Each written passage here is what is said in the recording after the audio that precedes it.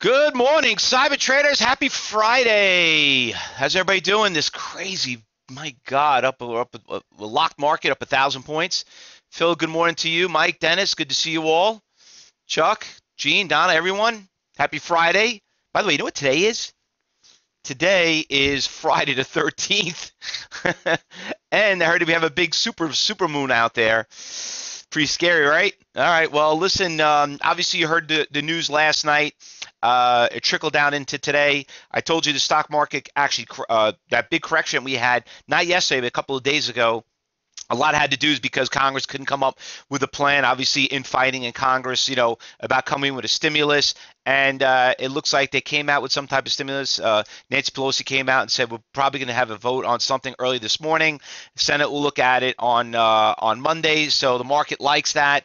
So that's a very good thing um, for the market. Market does like that, and I'm telling you right now, I really think that uh, after a while, I was I've been up late and I've been up early, and you know I've been listening to a lot of people on TV. A lot of a lot of analysts, a lot the market's factoring this in about a month into it, and you know after hearing what they're saying about the coronavirus, they're, expecting we didn't. This is just the beginning. It's but the bad's going to start coming in about within the next two to four weeks, where we're really going to start seeing people really get sick and the numbers are really going to take off. You could see New York and everyone's trying to get ahead of this uh, regarding about this coronavirus. So you know th- this is my point. I want to make. Uh, uh, I want to point out that I, I found out that that I that my analogy.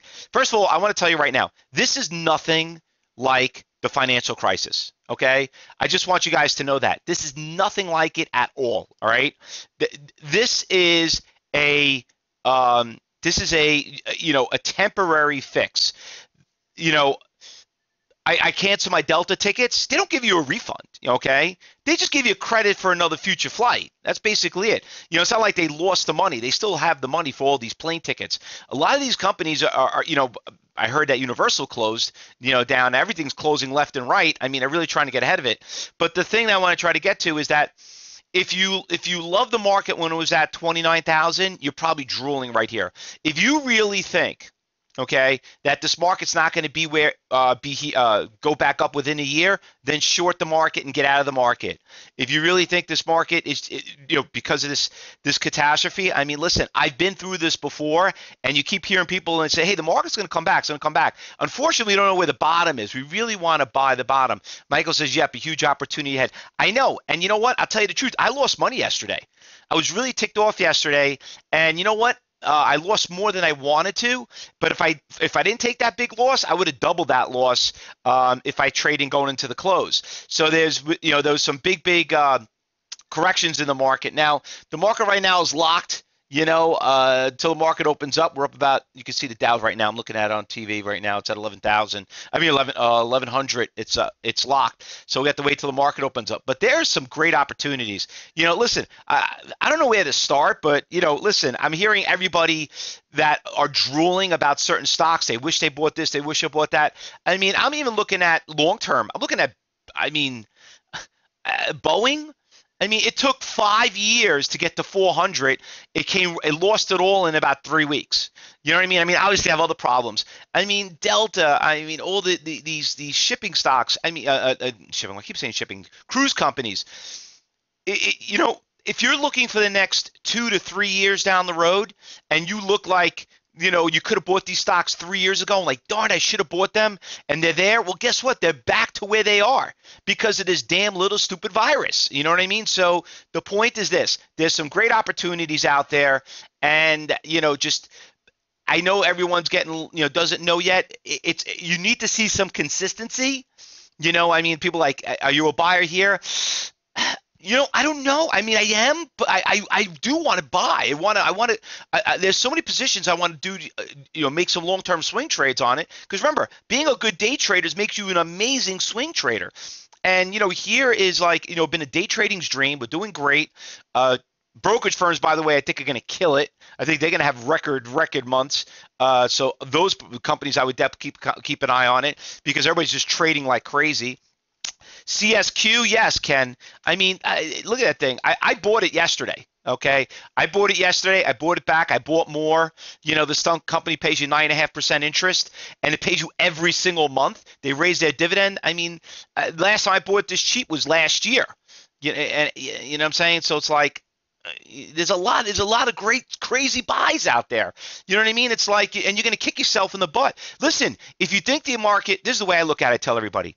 If you really really really think the market's going to go back to like 15,000 10,000 then sell everything. Short it. That's all. That's fine. You know what i mean? Listen if you but if you think me personally i've been through four catastrophes you know, and every single one of them, I kick, you know, uh, I made a fortune on it, and everyone's like, "Wow, you remember that?" I had, we haven't had something like this in what since 2008, since the financial crisis. And look, you know, when Obama had to deal with the financial crisis, a lot of people didn't like that. You know, we bailed out the banks. But if you were in the trading industry like us, you you got you killed it. Okay, now you're having Trump that's dealing with a catastrophe. If he does the if he does the right thing like Obama did with the financial crisis, some people might not like what he does, whatever. But if he does the right thing, the market's going to come. Uh, it's going to do great. So it's your opportunity way to look at it. So we got to just make sure our our our, our, our our government fixes what's going on. And uh, only thing I feel good about it, I'm telling you, this is nothing like the financial crisis. Nothing like p- banks were going out of business okay? And people going to the bank and taking their cash out. This is just a stupid little virus that's screwing everything up for everything. And you know, as a trader and, and you being in the business, you guys got to get you, you got to lock and load. You really got to lock and load. All right. So listen, there are a lot of good buys out there. I don't need to go through a list like you know, Ken, you brought up CSQ, GM, you know, Ferrari. I mean, look at these stocks. Uh, Race. I, I, like Race for one reason, one reason only. They already came out with bad news. This is a, you know an Italian company, great company, made a lot of money in it. Stock got crushed. Is exactly where I where I sold it.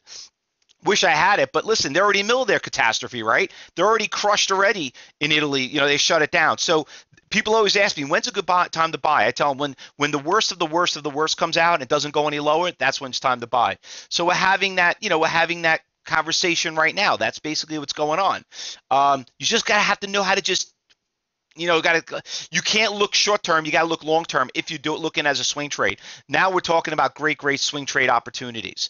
Uh, you got that. Uh, I'm a big fan of Boeing. Like I said, uh, I was just watching Mark Cuban on TV. He's, you know, he's obviously in the entertainment business. He's like, I'm drooling on uh, Live Nation. You know, obviously he didn't even drop that much for crying out loud. Uh, I don't know why he likes it so much. It really didn't go anywhere, Live Nation. But you know, because obviously entertainers still have to make money. So there's just there's some, some really, really, really good buys out there. All right.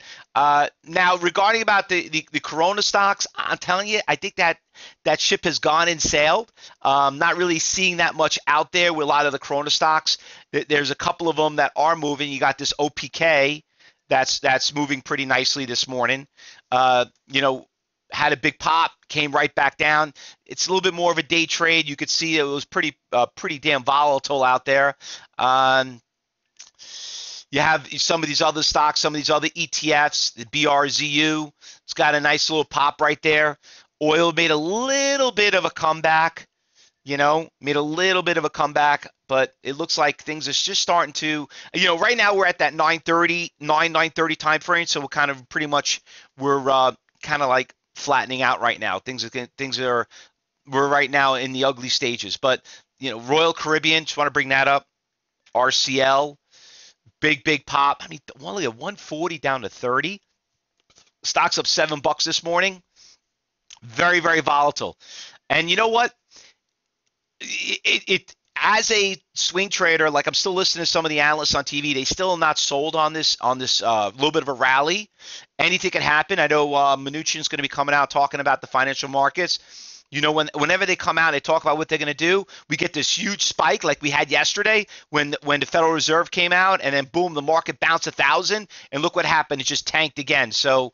Uh, regarding about swing trading, listen, if you love a company, you know, if you really, really love a company, you wish you could have had, I think this is your opportunity to get it cheap again. So you might have to deal with a couple of more 10, 20% swings.